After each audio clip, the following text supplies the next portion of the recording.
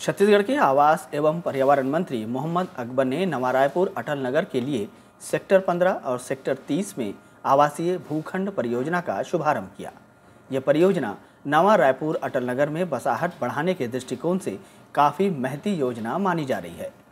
इन सेक्टरों में शासन द्वारा अहम निर्णय लेते हुए पहले की अपेक्षा वर्तमान में भू आवंटन के आकार को छोटा किया गया है, ताकि अधिक से अधिक लोग इस परियोजना से जुड़कर भरपूर लाभ उठा सकें।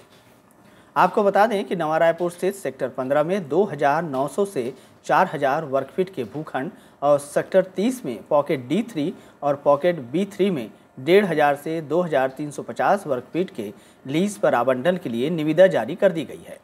सेक्टर 15 में ऑफसेट प्रीमियम दर पर एक हज़ार दो सौ चालीस रुपये प्रति वर्ग फीट निर्धारित की गई है जबकि सेक्टर 30 में यह दर एक हज़ार एक सौ पैंतीस रुपये प्रति वर्ग फीट निर्धारित है।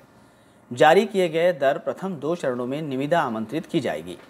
प्राधिकरण द्वारा दो वर्षों में प्लॉट लेवल तक अधोसंरचना जिसमें पहुँच मार्ग, पानी, बाह्य विद्युतीकरण और सीवरेज आदि विकसित की जाएगी।